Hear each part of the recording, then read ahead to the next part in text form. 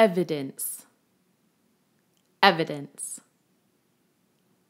Objects, documents, and facts used in a court of law to back up a legal argument.